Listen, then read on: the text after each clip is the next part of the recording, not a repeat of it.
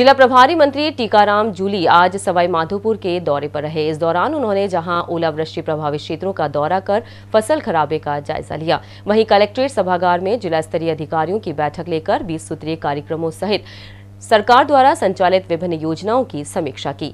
जिला प्रभारी मंत्री टीकाराम जूली ने खंडार क्षेत्र के आधा दर्जन गाँवों का दौरा किया और ओलावृष्टि से हुए फ़सल खराब का जायजा लिया और संबंधित अधिकारियों को फ़सल खराबे की रिपोर्ट तैयार कर जल्द से जल्द सरकार को भेजने के निर्देश दिए हैं। इस दौरान खंडार विधायक अशोक बैरवा, जिला कलेक्टर डॉक्टर सत्यपाल सिंह सहित अन्य अधिकारी भी मौजूद रहे।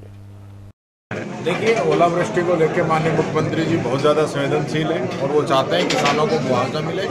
इसके लिए विशेष गिरदावरी के उन्होंने आदेश दिए हैं और साथ के साथ सभी प्रभारी मंत्री अपने जिलों के अंदर जाकर मौके पर ही जा रहे हैं, किसानों से मिल रहे हैं और वाकई में जो नुकसान हुआ है, उसका सर्वे करवा कर उनको मुआवजा दिलाने का काम हम लोगों की जिम्मेवारी है तो हम लोग वहाँ पे गए हैं, पूरा प्रशासन वहाँ पे गए हैं। और आने वाले दो या तीन दिन के अंदर अंदर सभी जगह पे गिरदावरी और सर्वे करवा कर उनका जो भी नुकसान हुआ है किसानों का, उसकी पूरी रिपोर्ट सरकार को भिजवाएँगे।